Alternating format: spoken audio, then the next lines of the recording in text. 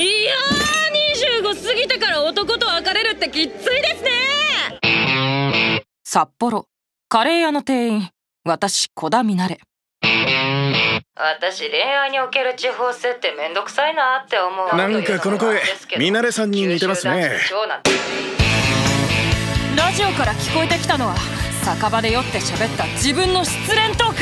最高でしたよ姉さん私たちと一緒にラジオのお仕事してみない小田ミナレの「オールナイトニッポン」ってな感じだ。何曜日の何時なんですか？ここですここです。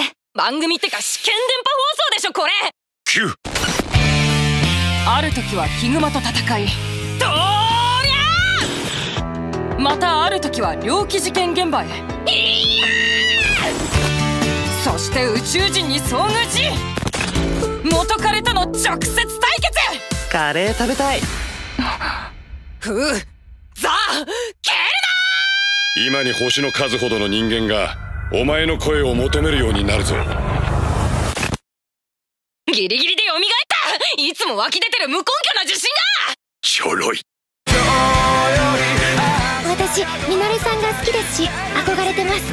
中原さんをもてあそばないであげて。次のお便りです。好きにやりなディレクター勘弁してくださいよ素人さんでしょ。なあなあなあ準備は全て整った。今夜3時半からお前の番組の放送を開始する。無事に放送を全うできる自信がございません。